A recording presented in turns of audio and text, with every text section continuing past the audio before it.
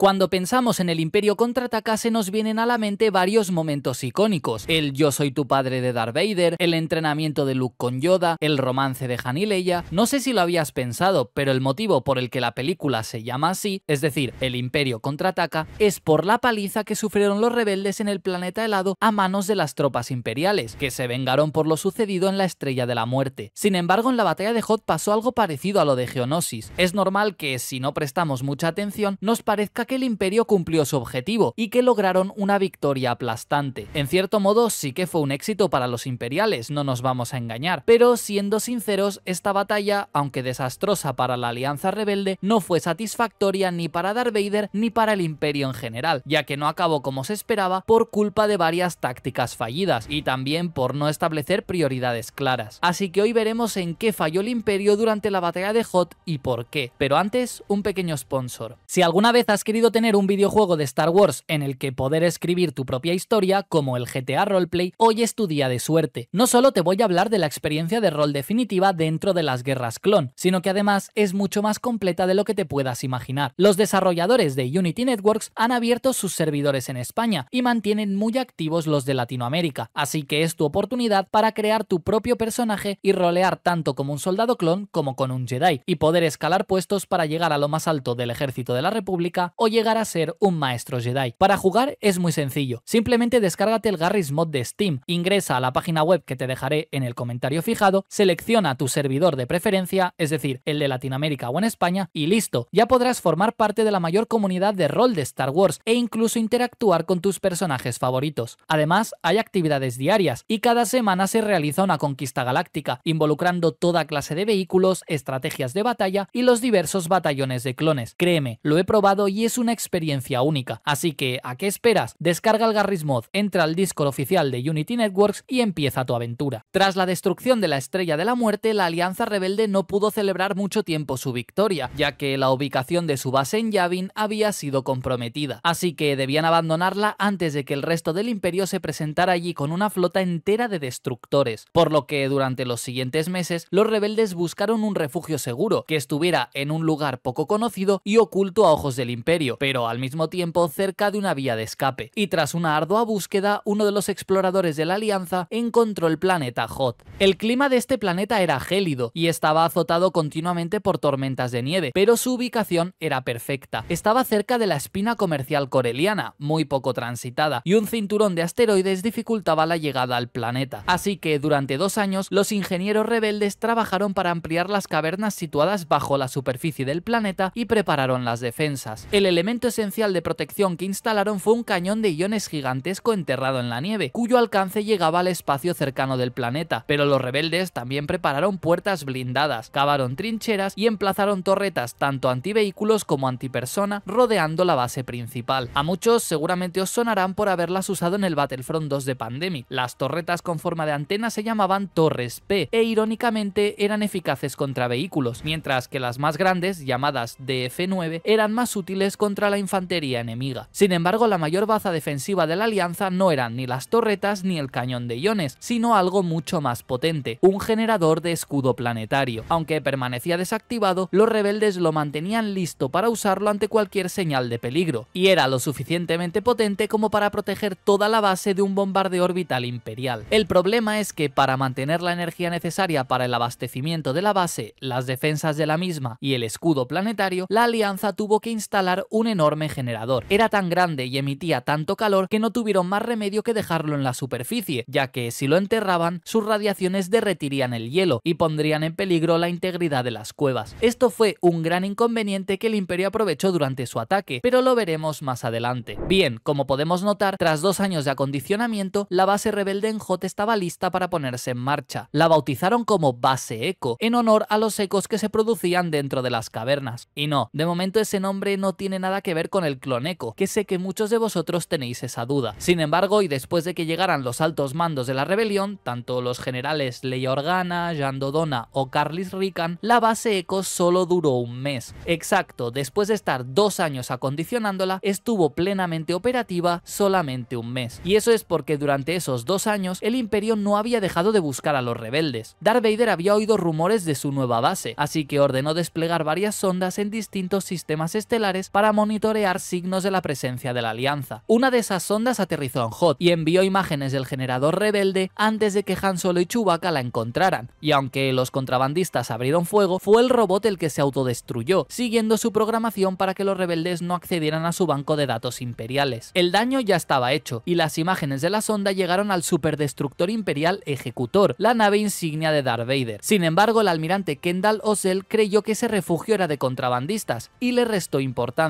pero Darth Vader intuyó que ahí era donde se ocultaban los rebeldes, así que ordenó que el Escuadrón de la Muerte partiera hacia Hot. El Escuadrón de la Muerte era como se conocía al conjunto de cinco destructores que solían acompañar a Darth Vader, llamados Tirano, Vengador, Devastador, Conquista y Ultimatum. A ellos se les unió en esta ocasión otro destructor llamado Acechador, que era el que había mandado la sonda que aterrizó en Hot, así que la fuerza de ataque imperial que partió para atacar la base rebelde estaba formada por seis destructores y un superdestructor. Los rebeldes no tenían escapatoria. Pero aquí es donde el imperio cometió su primer error, o mejor dicho, no el imperio, sino el almirante Kendall Ossel, que viendo el cinturón de asteroides que rodeaba Hot y temiendo que los rebeldes los atraparan en medio, ordenó saltar directamente al espacio cercano del planeta. Es decir, en vez de acercarse lentamente como estipulaban los protocolos militares, calculó un salto directo al hiperespacio. Esto provocó que los rebeldes se dieran cuenta de su presencia y activaran el escudo planetario a tiempo, por lo que el ataque orbital imperial quedó descartado. Por supuesto, y como es lógico, a Darth Vader no le gustó nada esta táctica, así que estranguló al imprudente Kendall y ascendió a Piet para que ocupara su puesto. Viendo que el ataque orbital ya no era posible, Darth Vader ordenó al general Beers que desplegara los blindados imperiales en la superficie para un asalto terrestre, en una táctica muy parecida a la que hizo Thrawn durante la batalla de Azolon, lo cual me hace preguntarme si efectivamente el Sith usó varias tácticas del Chis al ver que fueron tan efectivas, lo cual es bastante probable. Reflexiones personales aparte, el general Beers obedeció las órdenes y desplegó 12 AT-AT en Hot, todos ellos pertenecientes a la unidad llamada Blizzard Force, que era la división blindada de lo que quedaba de la 501 dentro del imperio. Su misión era llegar a pie al generador del que os hablé antes, que estaba ubicado en la superficie, para destruirlo y permitir a la flota imperial enviar naves y desplegar tropas para invadir la base sin percance alguno. Mientras Beers desplegaba sus fuerzas, Piet ordenó un bloqueo planetario para interceptar las naves rebeldes que quisieran escapar. El cerco se había cerrado sobre la alianza y ahora eran ellos los que debían buscar la forma de romperlo, y aquí es donde el cañón de iones cumplió perfectamente con su papel. Nada más percatarse de la presencia imperial en la órbita del planeta, el general rebelde Rikan ordenó el protocolo de evacuación, y todos los efectivos y materiales empezaron a ocupar sus puestos en los 30 transportes disponibles. Estas naves eran lentas y no disponían de potencia de fuego, por lo que se ordenó a todos los alas X que los escoltaran y priorizaran su escape. Además, se sincronizó el cañón de iones con la apertura momentánea del escudo planetario, para que disparara justo cuando este se desactivara, así que cuando el escudo planetario bajaba, el cañón de iones efectuaba un disparo meticulosamente calculado para cubrir la retirada de los transportes. Era una maniobra arriesgadísima y que exigía mucha precisión, ya que si se calculaba mal el vector del disparo del cañón de iones, este podía alcanzar el transporte en vez de a las naves imperiales. Pero la táctica funcionó razonablemente bien, aunque al final del vídeo diré cuántos transportes lograron huir de los 30 que lo intentaron, ya que el impacto de la carga de iones desactivaba por unos momentos los sistemas de los cruceros imperiales, y los transportes pues aprovechaban esa ventana para dar un salto al hiperespacio. Pero mientras el cañón y los transportes se encargaban de la retirada, las fuerzas terrestres de la Alianza se prepararon para resistir el ataque imperial, y esperaron apostados en las trincheras y activaron las torretas defensivas. Los AT-AT del general Beers, aunque habían sufrido algunas bajas antes de llegar, ya que tres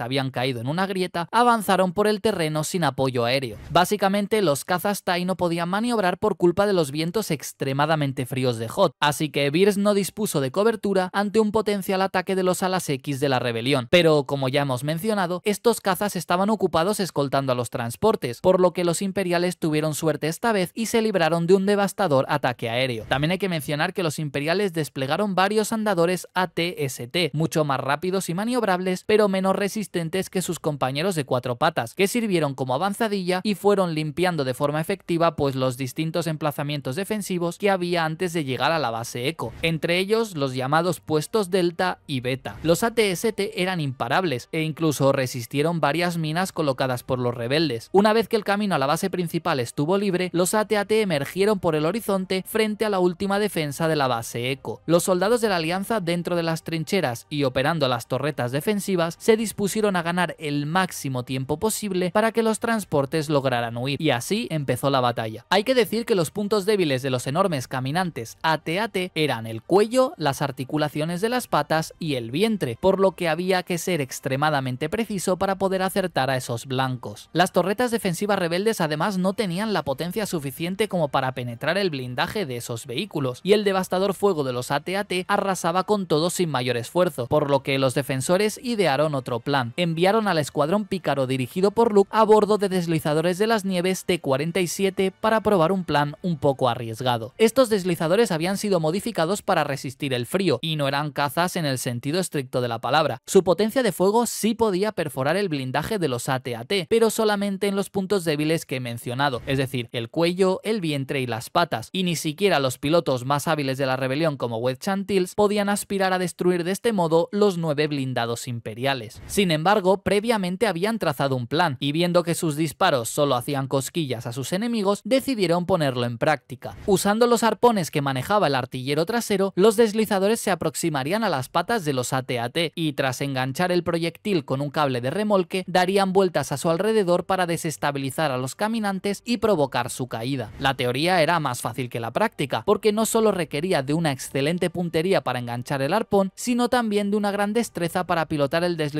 a la distancia justa para tensar el cable sin romperlo. Wedge Antilles y su compañero Wes Jensen acertaron en el blanco, y el primero de los nueve AT-AT se enredó con el cable, cayendo estrepitosamente al suelo helado. Una vez que el caminante estuvo quieto y con su vulnerable cuello expuesto, Wedge efectuó otra pasada y destruyó el vehículo con una ráfaga dirigida a su punto débil. Fue una maniobra excepcional, nacida de la combinación entre suerte y una enorme habilidad, y los rebeldes eran conscientes de ello, pero era la única oportunidad que tenían de retrasar el avance imperial, y siguieron intentándolo. Con el tiempo cayeron otros dos caminantes, uno de los cuales fue destruido gracias al sable de luz de Luke y un detonador térmico bien lanzado, y un tercero quedó inutilizado por un disparo en una de sus patas, pero los cinco AT-AT restantes diezmaron a las fuerzas rebeldes y derribaron varios deslizadores, así que la huida fue la única opción. Una vez tuvo a tiro el generador de escudo, el general Beers ordenó dejar de disparar a los rebeldes que huían y concentrar el fuego en ese nuevo blanco. Tras una poderosa ráfaga, el generador explotó y Beers contactó con Vader para que procediera con el asalto a la base. Dicho y hecho, y tras aterrizar con una lanzadera clase Lambda, Vader y la Legión 501 invadieron la base Echo. Para su desgracia, la mayor parte de los líderes rebeldes ya había abordado los transportes e iban camino a abandonar el planeta, así que Darth Vader concentró sus esfuerzos en evitar que el halcón milenario pudiera huir, creyendo que Luke Skywalker iba a bordo. A pesar de disparar a la nave con una torreta, esta abandonó la base justo frente a las narices del Sith, que en este caso no pudo hacer nada para detenerla. Como dato curioso, y mientras todo esto sucedía, algunos soldados imperiales fueron atacados por guampas dentro de las instalaciones, que se habían infiltrado y permanecían encerrados en un habitáculo de la base. Por su parte, Luke llegó a donde estaba su X-Wing, y junto a Wedge escoltaron un transporte hasta que este saltó libremente al hiperespacio. El joven Jedi decidió no ir al punto de encuentro y se dirigió al planeta Dagobah para encontrar al maestro Jedi del que le había hablado el fantasma de Obi-Wan. Leia Organa, Han Solo, Chewbacca y los droides R2 y C3PO fueron perseguidos por los imperiales siguiendo órdenes de Vader y no pudieron saltar al hiperespacio por problemas en el motor. La persecución posterior se saldó con la escapatoria del halcón hacia Bespin, donde eventualmente Han Solo fue congelado en carbonita y Luke se enfrentó contra su padre. Tras invadir el refugio rebelde, las fuerzas imperiales arrasaron la base Echo por completo, destruyendo en minutos lo que sus enemigos habían tardado dos años en construir y que solo habían podido usar durante un mes. El resultado final en general no fue lo suficientemente satisfactorio para el imperio, y además el general Beers fue herido de gravedad cuando un deslizador pilotado por Derek Kilvian se estrelló contra la cabina de su AT-AT, aunque eventualmente pudo salir adelante. Así que en retrospectiva, estas son las conclusiones y las bajas que se produjeron durante la famosa batalla de Endor. Por parte de los rebeldes, 17 de los 30 transportes fueron destruidos por el bloqueo imperial, y todos sus ocupantes fueron asesinados o capturados, y no se supo nada más de ellos. Además, de los 7.500 rebeldes que había en la base Echo, más de la mitad murieron o fueron hechos prisioneros. Sin embargo, todos los líderes de la alianza lograron escapar poniéndose a salvo en el punto de reunión tras saltar al hiperespacio. En lo que respecta a las bajas imperiales, de los 12 AT-AT desplegados, solamente 5 quedaron intactos y murieron 500 soldados de asalto. También hubo varios heridos, entre ellos el general Beers, como ya he mencionado. Además, uno de los destructores, el llamado Ultimatum, quedó destruido por un impacto de un asteroide en su puente de mando cuando se acercaban al planeta, y el tirano fue alcanzado por el cañón de iones e inutilizado temporalmente. Si dejamos de lado las bajas rebeldes y lo vemos con un poco de perspectiva, nos damos cuenta de que el imperio tenía ganada la batalla nada más empezar. La alianza rebelde en ningún momento planteó el enfrentamiento de igual a igual, sino que priorizó la evacuación de sus efectivos y sobre todo de sus líderes por encima de vencer a su enemigo. El imperio atacó la base Eco para dejar a los rebeldes sin refugio, lo que efectivamente lograron, pero fracasó en su intento por capturar a sus altos mandos. Esto es en parte culpa de Darth Vader, que estaba obsesionado con capturar a Luke y dejó de lado el resto de prioridades. Si te fijas, este resultado es muy parecido al que vimos durante la batalla de Geonosis, con la alianza rebelde cumpliendo el papel de los separatistas y el imperio cometiendo los mismos errores de la república. Aunque en este caso sí que establecieron un bloqueo planetario para interceptar los transportes rebeldes, 23 de los 30 lograron atravesarlo gracias al cañón de iones, lo que es una cifra bastante elevada teniendo en cuenta que había 5 destructores y un superdestructor intentando evitarlo. Finalmente la batalla de Hot produjo unos resultados a largo plazo bastante interesantes, y es que a raíz de todo esto, los rebeldes se dieron cuenta de que separados no eran rivales para el imperio, por lo que gracias a las bajas sufridas en el planeta helado, las distintas células se unieron un año después para un ataque conjunto a la segunda estrella de la muerte, que se concretó en la exitosa batalla de Endor, por cierto, de la que también he hablado en otro vídeo. Por su parte, el imperio reconoció el ingenio de los rebeldes para enfrentar su poderío militar y analizó los patrones de ataque de esta batalla de cara a los enfrentamientos futuros. Y ahora dime tú, ¿qué opinas de esta batalla? ¿Crees que el imperio fracasó durante la misma o lo consideras una victoria útil y necesaria? Si tú hubieras estado a cargo de la ofensiva imperial, ¿qué prioridades habrías establecido para evitar que los transportes rebeldes lograran escapar? Déjame saber tu opinión en los comentarios y te recuerdo que si te ha gustado este análisis